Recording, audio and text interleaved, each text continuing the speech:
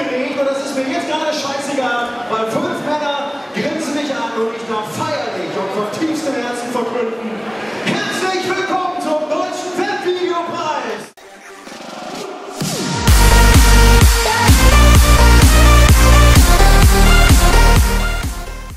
Liebe Schnittchen, ich wünsche euch einen wunderschönen Samstagmorgen am 13. Juni 2015. Wie ich bereits ähm, im letzten Video angekündigt habe, bin ich heute ähm, in Düsseldorf und zwar im Castello zum Webvideopreis 2015. Das heißt, es ist jetzt 9 Uhr 20 und jetzt werde ich mich auf den Weg zu Carsten und Hannah machen, die dann einsammeln und dann werden wir uns zum Castello nach Düsseldorf bewegen. Ähm, aber bevor ich das mache, habe ich erstmal eine drei Stunden lange Autofahrt vor mir. Also dann, äh, ja, ich vermute mal, wir sehen uns dann gleich bei Hanna und äh, Carsten wieder. Also bis gleich. So, liebe Schnittchen, ich bin jetzt bei Carsten und Hanna angekommen nach einer dreieinhalb Stunden Autobahnfahrt. Äh, 150 Tempomat auf der Autobahn durchgehend. Ähm, ja. Ich bin jetzt bei den beiden angekommen. Erstmal Hallo, ihr beiden. Hallo. Hallo. Echt Gespräche, diese beiden. Ähm, das ist auch das erste Mal, dass wir uns sehen. Ich muss es. Wir müssen übrigens in zwei Kameras gucken, für die, die es nicht äh, wissen, denn einerseits hat Carsten eine Kamera und andererseits habe ich eine Kamera. Wir sind gerade untereinander. Stehen gerade untereinander. Ähm, Ich ja, eigentlich schon, ne? Foto. Können wir, können wir gleich mal machen, genau. Und heute ist der Webvideopreis 2015 im Castello in Düsseldorf. Darauf freuen wir uns natürlich, sind auch live mit dabei. Werden dazu auch äh, Videos drehen. Jetzt wollte ich gerade Filme sagen. Werden dazu auch, werden dazu auch äh, Videos drehen. Hast du mein Drehbuch gelesen? Dein Drehbuch gelesen. Ja, für den Film. Achso. nee, noch nicht. Kommt noch. ja, genau. Jetzt habe ich mir so auf dem Kühlergrill so, so einen Halter für so ein Buch, weißt du. Und dann geht das los. Ich würde an dieser Stelle einfach mal das Mikrofon an Carsten oder Hanna übergeben, wer von euch beiden auch noch was sagen möchte. Ähm, denn jetzt kommen wir zu dem Part, wo wir kurz darüber sprechen, worüber wir uns freuen. Und ich freue mich auf Pizza. Ja, unter anderem.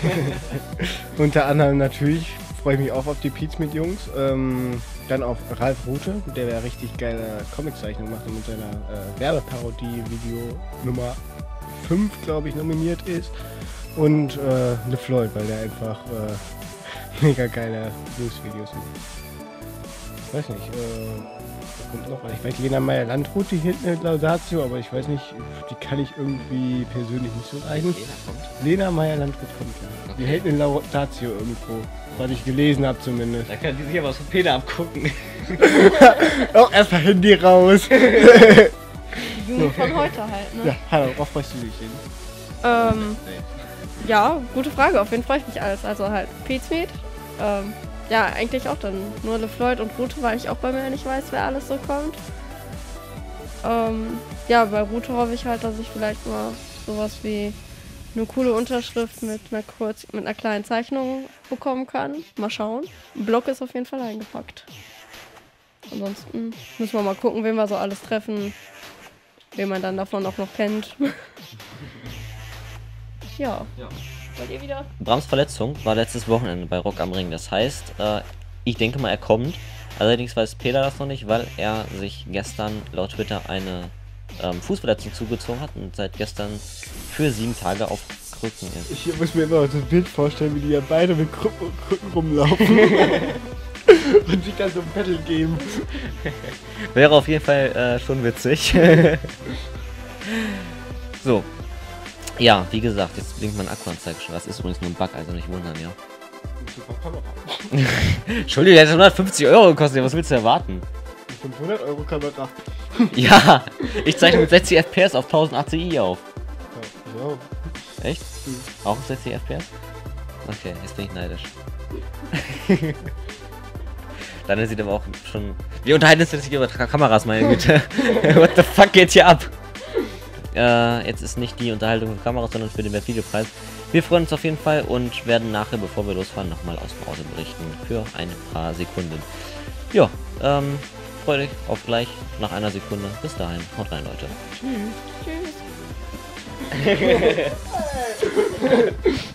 Das kommt noch mit rein.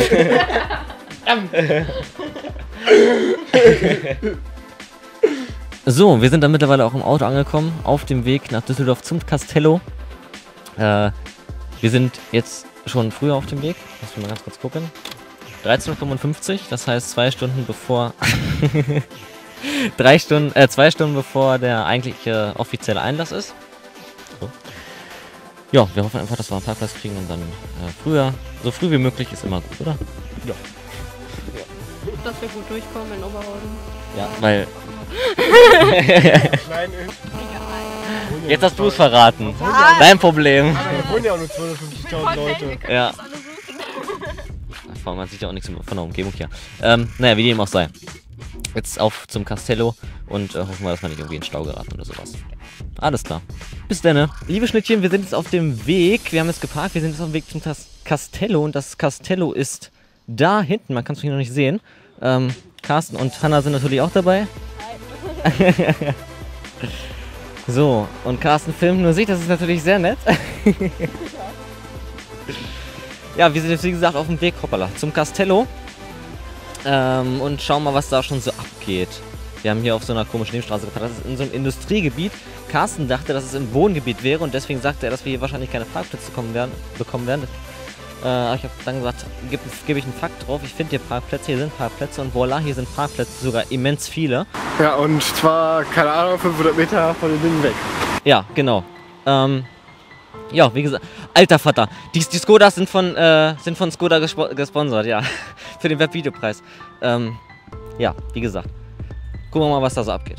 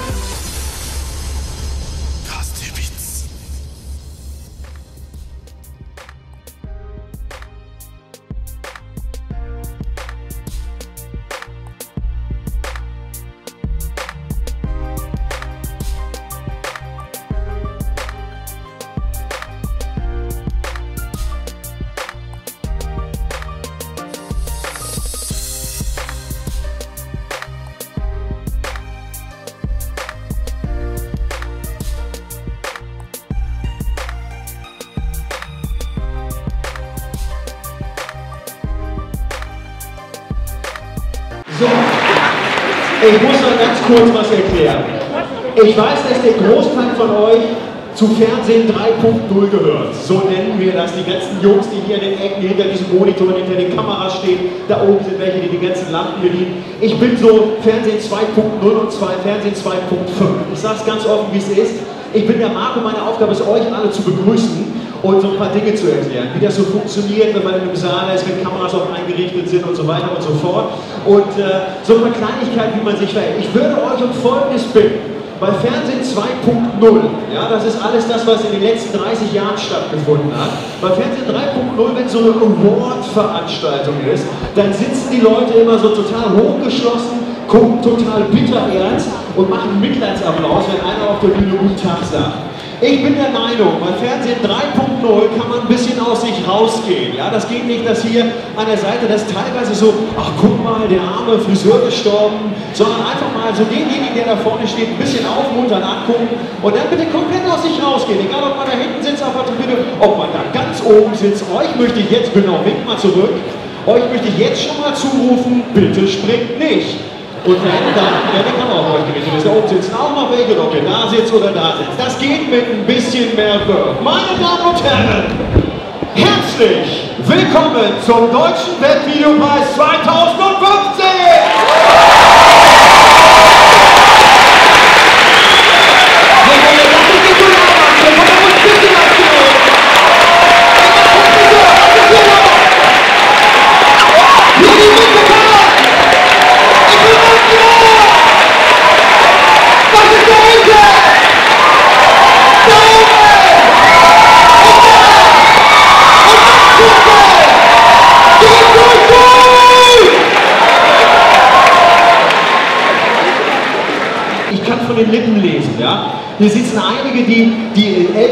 Semesters, die sofort Ozzy Osbourne, da ist er.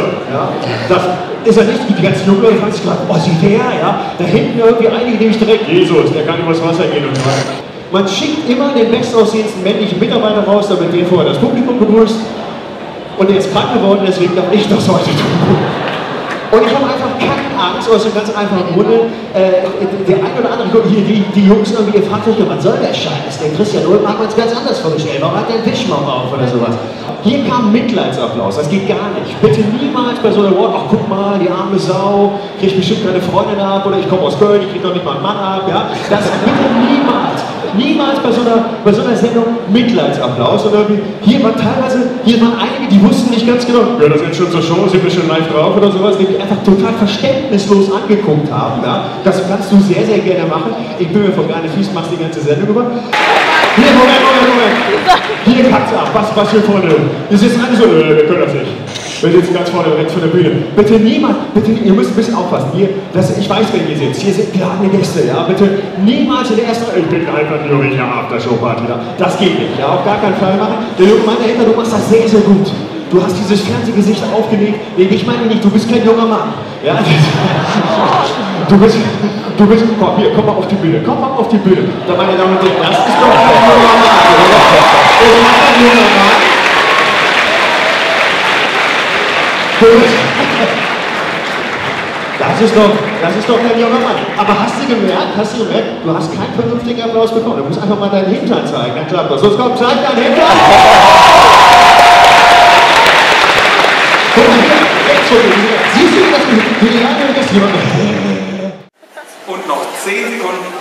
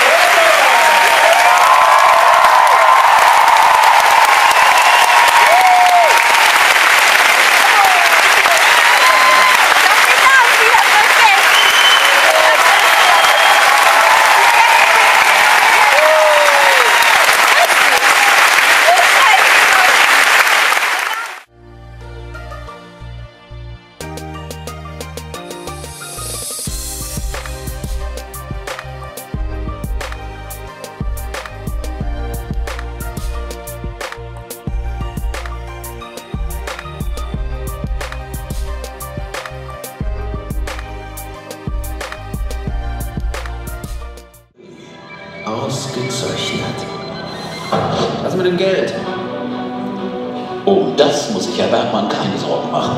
Seine Videos haben über 90 Millionen Aufrufe. Selbst wer Minecraft nicht kennt, wird das hier nicht trauen. dem Typen nicht.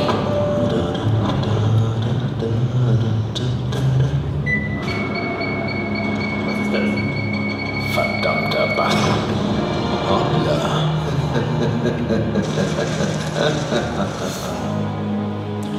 Geschichte, vor allem die deutsche Geschichte, dient vielen Videospielen als Vorlage.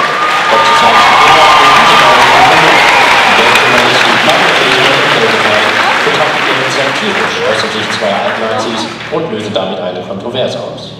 Call of Duty takes place in a parallel universe where the American has actually won the war. Bisher gibt es nur den Trailer zu einer noch nicht existierenden Serie. Eine zu gute Idee, um es bei der Ankündigung zu belassen. We want more of this shit.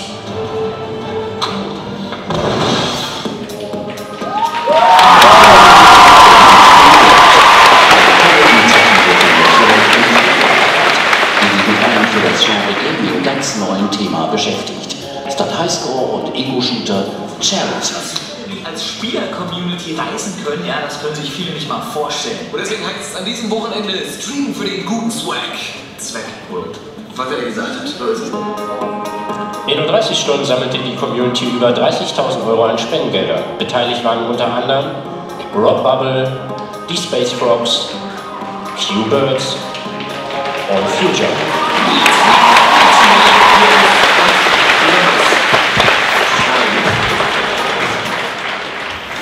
Den Gewinner verkünden jetzt Pete's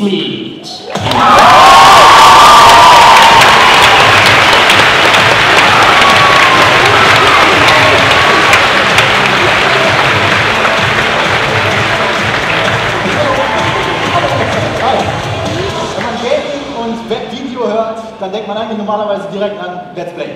Ist aber kein einziges Let's Play nominiert. Und das liegt, glaube ich, daran, dass es mittlerweile etabliert ist.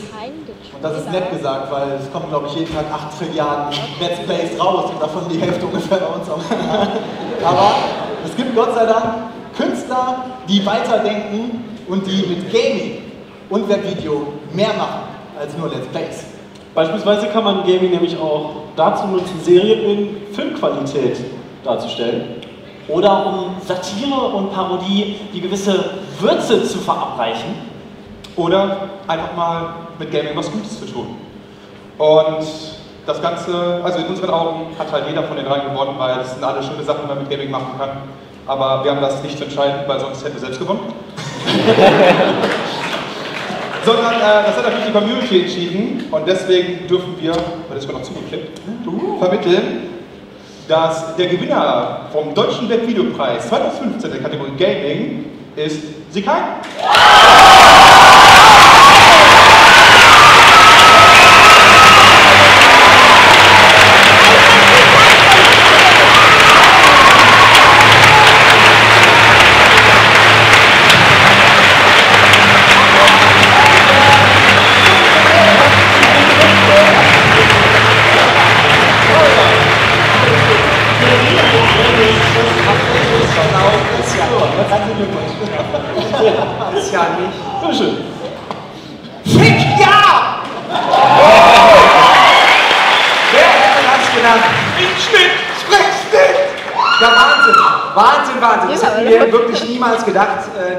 Man gegen so Prominente auch Konkurrenz antritt, dann haben wir eigentlich gedacht, ja, wir gehen mal hin, hoffen, wir kriegen Bier. Wir haben keins gekriegt, egal. Ähm, wir wollen uns auf jeden Fall bedanken äh, bei vor allem drei Leuten, die das möglich gemacht haben, mit möglich gemacht haben. Daniel, äh, Daniel hat uns, nee, leider nicht Daniel, hat uns beim Schnitt und beim Drehen geholfen. Äh, die tolle Stimme, die im Trailer zu hören ist, ist von Marty. Äh, Marty hat uns weitergeholfen. Ähm, wir an der Stelle mal sagen, diese Idee hätte es nie gegeben, wenn äh, Frodo, also Max, der hier auch mit, äh, moderiert, nominiert war, wenn der nicht damals gesagt hätte, also wenn ihr beide mal einen äh, Kanal zusammen machen würdet, der müsste sie keinen heißen. Also danke Frodo, das ist deine Idee. Und vielleicht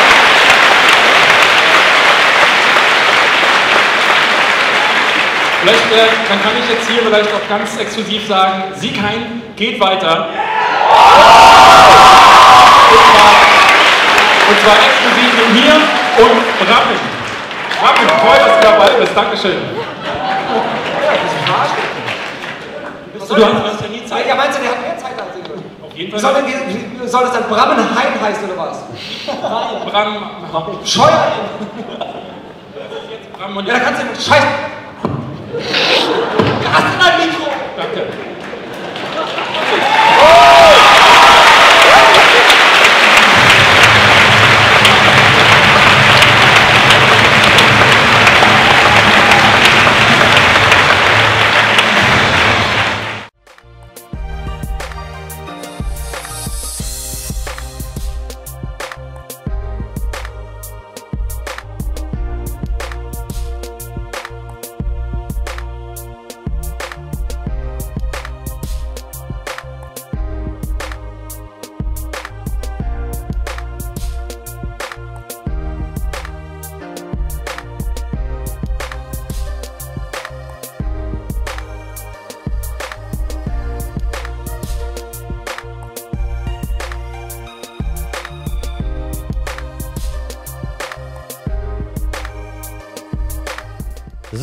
Zurück vom Webvideopreis 2015 mit dem Hanna, äh, mit dem Hanna. mit, der, mit der Hanna und dem Carsten. Aber ich merke, wir haben mittlerweile halb eins Uhr Ja. nachts, oder? Halb eins, ja, das stimmt. Ja, ziemlich genau halb Ja, eins. genau, ziemlich genau halb eins. Ähm, es war ein sehr, sehr geiler Abend. Es war ein sehr, sehr cooler Abend. Wir haben uns sehr gefreut. Diese 10, 11 Euro haben sich wirklich gelohnt, die wir dafür ausgegeben haben. Wir waren jetzt äh, alle zu dritt zum ersten Mal da. Es war wirklich toll. Wir haben zum Schluss noch mit äh, den ganzen Pete-Meetungen sprechen können.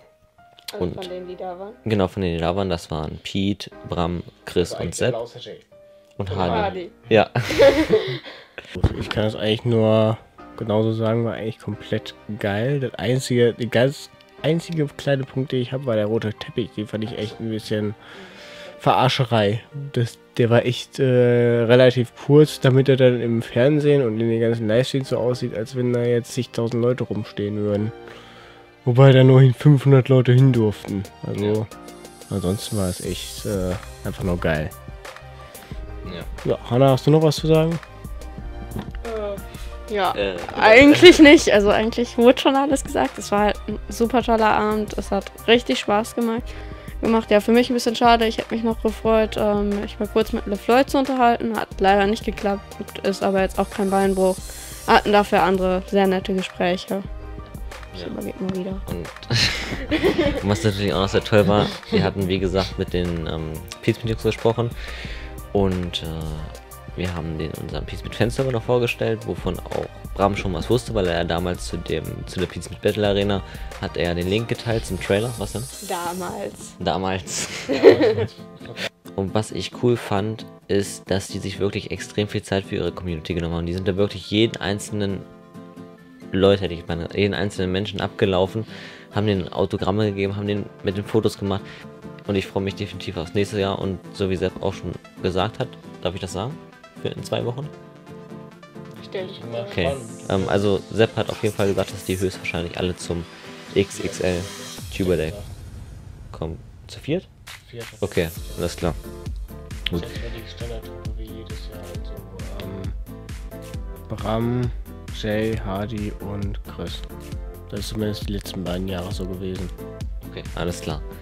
Ja gut, von Peter konnte ich nichts mehr rauskitzeln. Da habe ich einfach nur gesagt, äh, vielleicht bis in zwei Wochen. Darauf hat er nur mit Ja geantwortet. Mal sehen, wie das so wird. Ähm, das Webvideopreis 2015 Video ist damit auch am Ende. Wir haben es jetzt Montagmorgen um halb eins, wie der Carsten eben schon erwähnt hat. Sonntag. Sonntag, Entschuldigung, Sonntagmorgen. ich werde heute wieder meine Heimreise antreten. Ähm, und dann werden wir uns in zwei Wochen zum XXL Tuber Day wiedersehen, wo dann auch der Tobi mit dabei sein wird. Habt ihr noch? Und viele weitere. Ja, und viele weitere. Ja, wollt ihr noch was sagen? Tschüss. Ich freue mich auf mein Bettchen. okay, alles klar. Dann freut sich auf sein Bettchen, äh, auf ihr Bettchen. Ah, nee.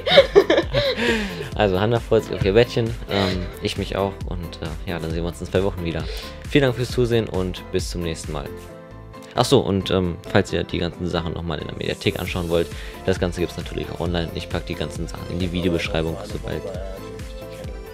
Und ja, aber nicht beim Webvideopreis.de, oder? Und bei, und, ja, na gut. Also, sobald es verfügbar ist, kommt es in die Videobeschreibung. Vielen Dank fürs Zusehen und dann bis in zwei Wochen zum XXL Tuber Day 2015 in Bottrop im Movie Park, Germany. Haut rein, Leute. Tschüss. Tschüss. minutes.